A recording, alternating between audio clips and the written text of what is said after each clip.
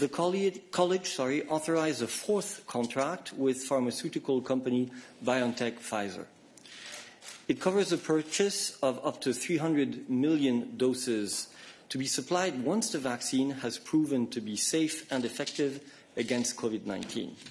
The agreement we have approved with BioNTech Pfizer today is our fourth contract so far and the step closer to what we set out to do to have a broad and solid vaccine portfolio we have been building up on for the last months. Today is an important day.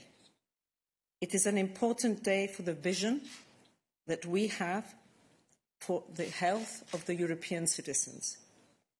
With today's proposals, we are taking the first steps towards a European health union.